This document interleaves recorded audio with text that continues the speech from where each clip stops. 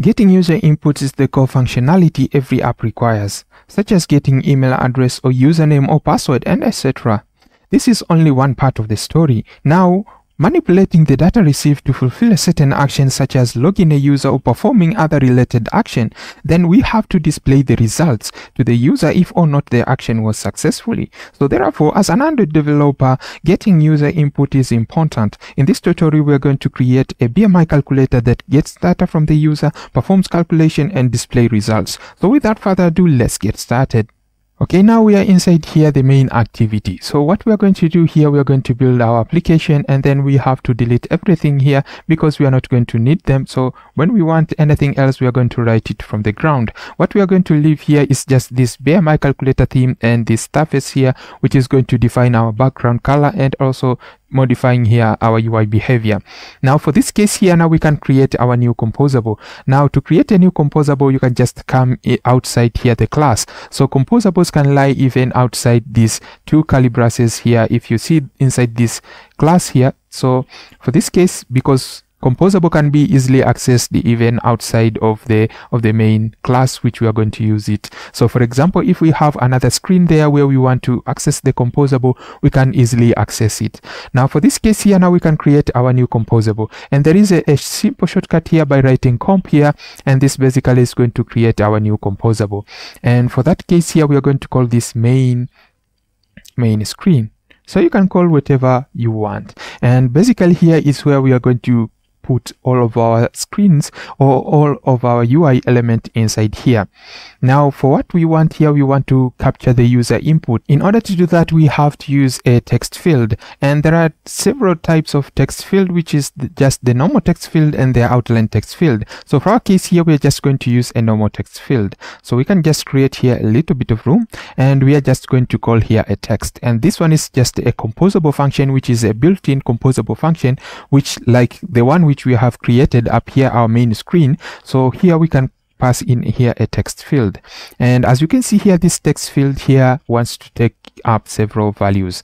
Now here what we have to do we have to pass in the value and the on value change. And basically jetpack compose rise with something which is called recomposition. So recomposition meaning that any when any value changes inside this composable it's going to recompose or recall that main screen. For example here the main screen. So a user types in for example a then here the main screen is going to be called again to recompose so that it can display the results. And it does this efficiently. So i'm going to show you here.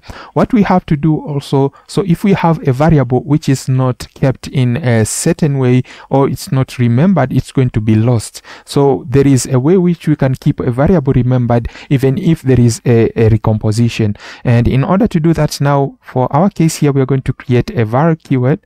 And here we are going to call here for example height because we are going to get to calculate the BMI cal to calculate the BMI we have to use the height and weight and here basically we can call this we can use here a delegate method by and we can call remember so this remember here is going to keep up the value which we is going to be generated. So we can call here a mutable. So basically here what we are going to get, we are going to get a string and we want to store this. So we are getting here error so we can just do this import and get because we are using here a delegate method and then also we can import again so if you come here and press Ctrl Q, you can see this one is going to remember the value produced by the calculation so which will only be evaluated during the composition. So recomposition will always return the value produced by the composition.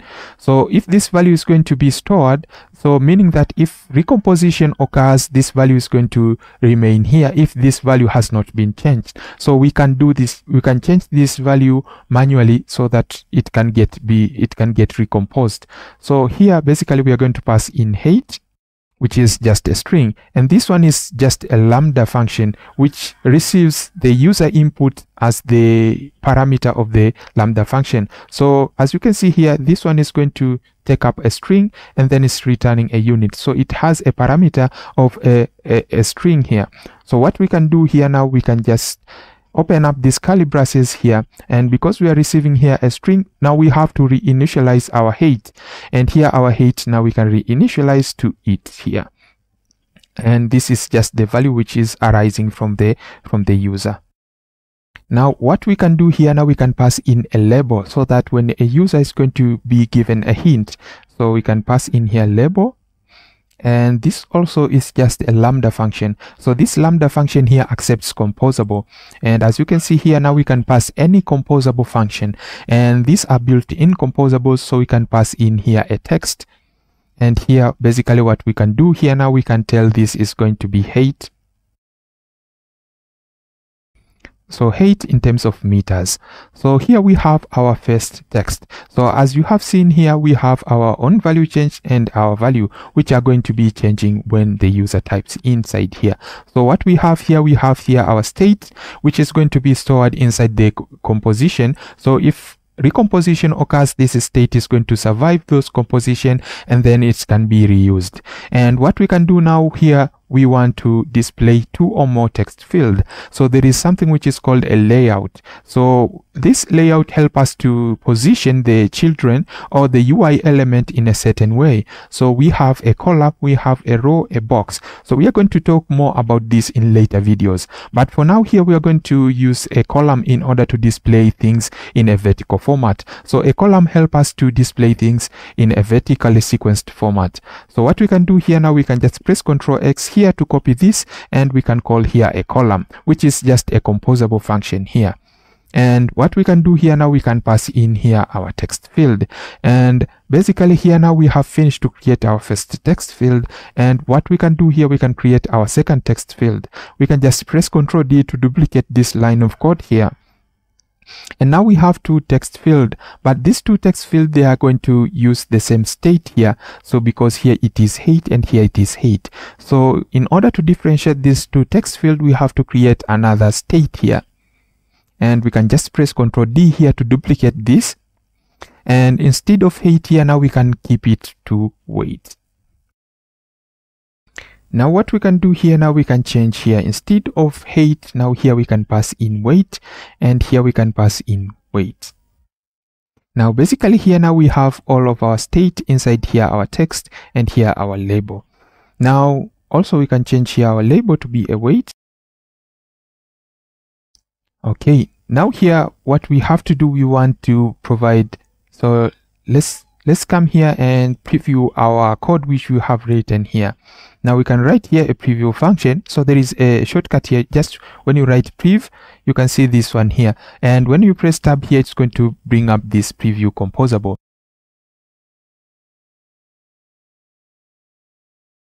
BMI calculator theme. And then what we can do here now we can call here our main our main screen in order to preview it now when you want to preview something inside Jetpack Compose, you can just come here and then it's going to initialize here and render the output. And also it can tell you the preview is out of date. Just press this refresh and build. Okay, so we are getting here our screen, but it is giving us a dark screen here. So what we can try here, we can come here to preview and here we can call the show background. Now let's try again here. As you can see, now let's come here to design and here we have our two text field. So we have our height and we have our weight here.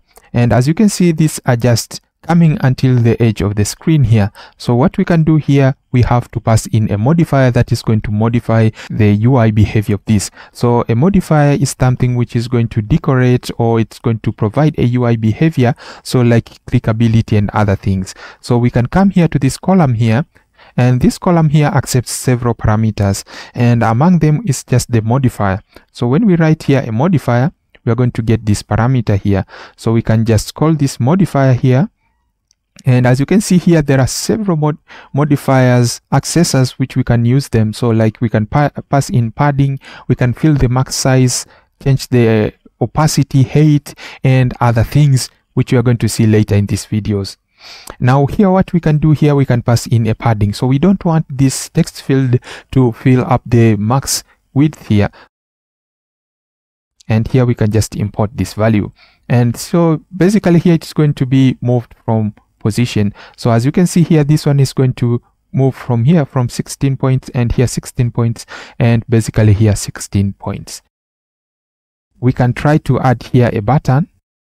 So we can come here below this. We want to have a button. So we want this button to be able to react to clicks so that we can calculate. And we can just write here a button and here we have the on click and here we have the row scope. So the row scope here is just a, a, scope that we can arrange ui component in a horizontal sequenced format. So a column here arrange the uh, ui element in a vertically sequenced format and here it is just a horizontal. So for example when we have a button we want to show a text as well as an icon. So for our case here we are just going to show only a text for the first time here. So what we are going to do we are going to pass in here a text composable. So when you see this for example row scope here it allows us to call composable functions which are basically the ui elements which we are going to use them inside our our application and this basically is going to calculate. So we are going to hook up the method here the on click later. Now for now let's try to run our application and see the output because we want this button. When you come here let's try to rebuild this okay now here our button is coming up here and because we have not kept it inside a layout and this is something which is going to occur. So by default every ui element is going to be positioned on the top left corner here if not defined inside a layout. So we can just copy this button here and press ctrl x. We can collapse this to get more room. And then inside this column scope here we can just paste this inside here now when we come here to design mode to view everything as you can see here these are going to overlap here. So what we can do here we can just pass another padding here to give this a little room. So what we can come here now we can just come here to the code and we can give it a modifier. So every ui element accepts a modifier inside jetpack compose.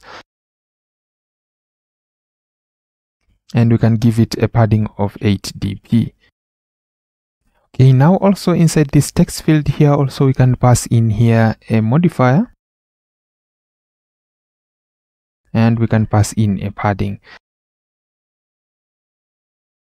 So basically here what we are going to do, we are going to pass in the padding on the top of this text field and not below here because we have this button here passing in a padding here. So we don't want to have a padding of total of 16 dp. So that's why we are just passing here a top of 8 dp and up here we don't want to pass any padding which we want. Okay, now after we finish up to pass in here a padding, what we can do, we can use this main screen and call it inside here or set content so that this can be hooked up inside the activity and create the UI tree. Now here we can call here our main screen now.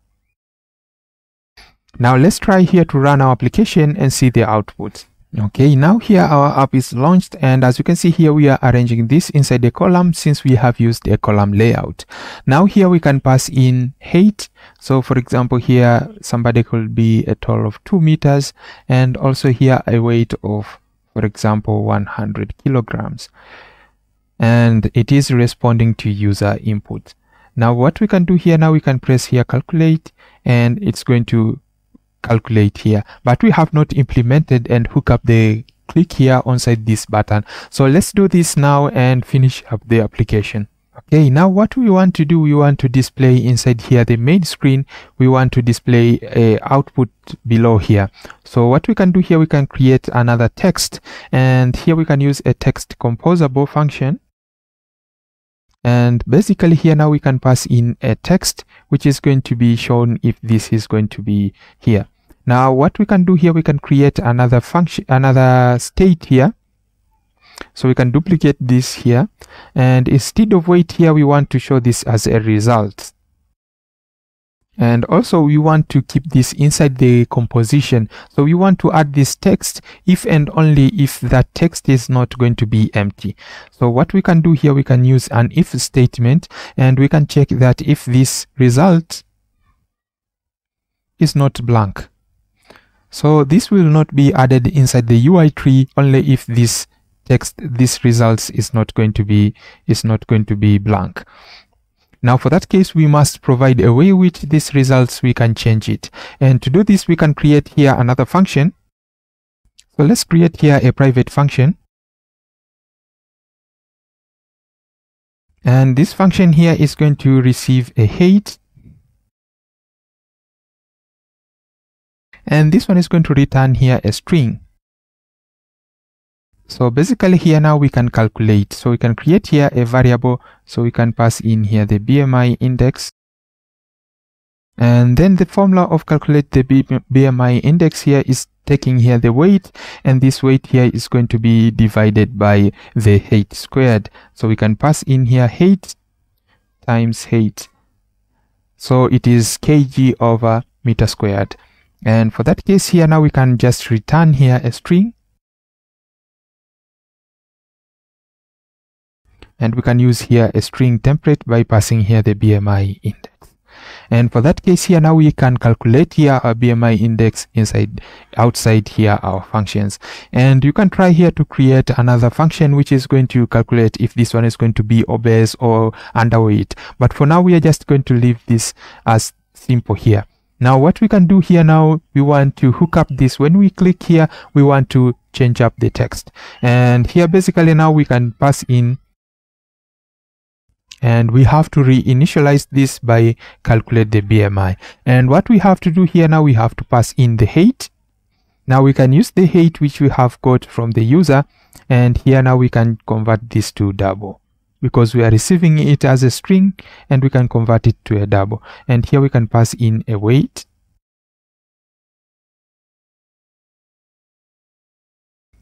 Okay now here our application is ready to run and let's try to rerun our application and see the output.